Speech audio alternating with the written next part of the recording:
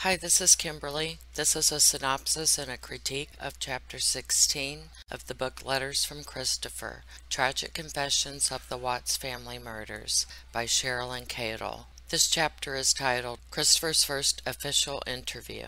The chapter starts off with the author attempting to diagnose Christopher. She says he shows signs of alexithymia, which is the inability to express emotions or to understand others' emotions. While that seems technically correct, I don't believe Chris Watts has ever been diagnosed. In fact, he said he refused on the advice of his counsel after he was arrested and before he pled guilty.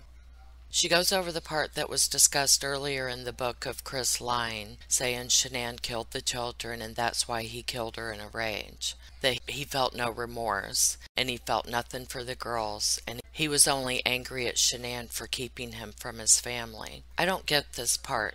A grown ass man can see and talk with his family anytime he wants to. If he didn't want a confrontation with his wife because he's chicken shit, start small by saying something like, I really want to still have a relationship with them. They're my parents. Or if he was feeling bold, he could man up and say something like, Shanann, you're not the boss of me. Mrs. Cadle then puts in the worded interview into the chapter that Chris had with FBI agent Grahm Coder. She even says, quote, this is the actual interview. I can understand doing that. This is a place where one does not want to misquote and you need the exact wording for clarity. She begins with the agent asking Chris to write out his version of things. This is the first quote that stood out to me. Chris says that, I mean, I left all the lights in the house. Wait, I thought the spooks, I, I mean, the spirits or dark forces turned on all the lights. In fact, Cadle misquotes him here. She leaves out the word on. Was this on purpose? Again, she quotes Chris as saying, that, I mean, I left all the lights in the house, end quote, when he actually said he left them on. So, this chapter consists of the conversation between Chris and Coder, where Chris is babbling incoherently. I feel like for this part, I would have been just more satisfied with a summary of this first interview, which is most likely all lies anyway. And then I would have liked to have seen Mrs. Cadle question Chris about it about this interview between him and Coder. I would like to know which part of this interview is true, which part was padded with half truths and embellishments. This interview it's too long and it's just a page filler. It's hard to read with all the ums and uhs and likes. It's more satisfying to watch it on YouTube with the subtitles.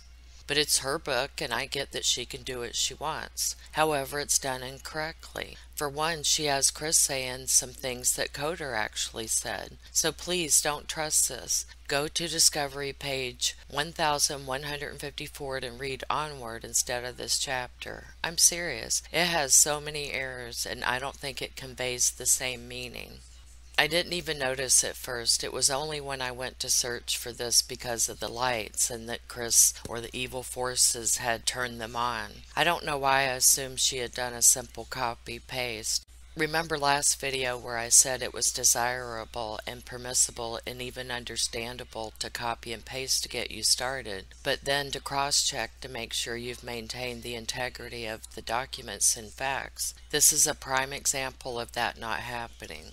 Even though she says that this was the exact interview, I found a handful of instances where it was not copied verbatim, such as the word exiting instead of texting. So now I had to start from the beginning, and I really didn't want to. I initially thought I wasn't going to have much to say due to this being an apparent copy paste of 21 pages in this book. Silly me. So let's talk about where she fucked up. I mean, made an error. She said, quote, this is the actual interview, end quote. Yet, no, not really. You can't say it's the actual interview when it's not copied to the letter. You can't say this is the actual interview if you're going to misquote and take it out of order. I do get that it was a lot of work to clean it up for this book. Discovery has line numbers and all of that, but it is easier to clean up text than to come up with your own ideas for creating a book. Here are some of the items that stood out to me. I'm not mentioning some of the smaller misquotes that I found. I started to do every single one and it really began to overwhelm me. So I took them out, the ones that were a word here and a word there. I honestly felt like throwing my hands up in the air with this project, going back and forth, back and forth with the book and the discovery, losing my place, confusing the two. I stopped in the middle of what I was doing, went to bed, and slammed the door. Then I had a long talk with myself and I reminded myself that I'm not the editor of this book after all. So I got back on it today, and to think I thought it would be fun to synopsize this book. Here are some things that I found, and it is by no means all inclusive. There's an entire part she jumps over, which is fine, but then she says things that were not said, such as quoting Coder. She said, quote, so let's continue on. There's a whole shoe closet, I, end quote. He did not say, so let's continue on, but he did say the bit about the whole shoe closet. However, it makes no sense since the previous part has been skipped over and left out. It comes out of nowhere. He was establishing that Shanann had a lot of clothing and shoes, and would Chris notice if she had taken some of her belongings to leave for a while.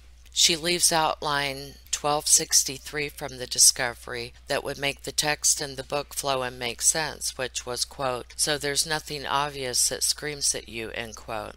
She quotes Coder as saying different side when he did not. It was actually Chris. This from the book from Chris Watts, quote, Yeah, you don't want to spend your whole marriage just like each other faking for the kids, end quote. It was actually Coder that made that statement. Coder asks, quote, okay, emotional for you too, end quote. And then she skips over Chris's answer. By the way, he said, oh yeah, I was bawling my eyes out. She misquoted Coder, quote, so you said your wife called the realtor the week before, end quote, when he actually said, quote, so you said your wife called a week before to the realtor, end quote. These small misquotes add up to big misunderstandings sometimes. It was only one of several in this chapter. I've included it to illustrate a point. She misquotes Chris as having gone downstairs at 5:25 a.m. when he actually told Coder it was 5:15 a.m. She misquotes Chris as saying, "And when I left, her car was in the garage." End quote. He did confirm this to Coder, but it was not a direct quote as presented in the book. She switches out some words such as police and cop. Why not leave it as it was in the report? She said that Chris Watts said, quote, her friend was freaking out, end quote, but it was Coder that said, quote, okay, all right, so now it sounds like Nicole's pretty worried, end quote. She does not go in the order of the interview. She skips around, going backwards sometimes. This is the part where I got tired of the shit and slammed off to bed. And there is more and more and more. I'm not going to point out every single error, as this was very tedious, but I just don't want the spread of misinformation. I got tired of it and my eyes were crossing, and like I said, I was starting to confuse which was the book and which was the discovery. So I hope I've not blasted Cadle in something that I shouldn't have. All in all, this was an easy chapter for the author, easy in that she copied from Discovery and pasted it into her book. I should have beat her to the punch if I had known it was so easy to write a book.